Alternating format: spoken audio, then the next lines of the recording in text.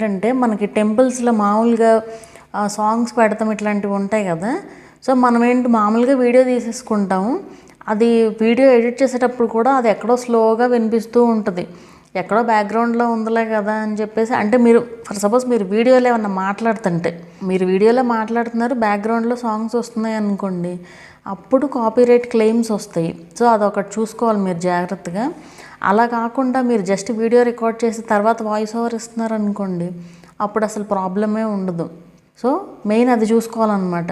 ఈ we even temple videos అనే కాదు ఏ వీడియోస్ అయినా సరే మనకి ఎడిట్ చేసేటప్పుడు కంపల్సరీ చెక్ చేసుకోవాలండి. బ్యాక్గ్రౌండ్లో ఏదన్నా మ్యూజిక్స్ ఉన్నాయనుకోండి ఏదన్నా చిన్న మ్యూజిక్ అయినా సరే మీరు ఎడిట్ చేసేటప్పుడు వీడియో సమ్ ఏదో టీవీలో మ్యూజిక్ ఏదో ప్లే అయిపోయి అంటే చిన్న చిన్న ఏంటంటే మనం అబ్జర్వ్ చేయం ఒక్కొక్కసారి ఆ హడావుళ్ళు సో కంపల్సరీ చెక్ చేసుకోవాలండి.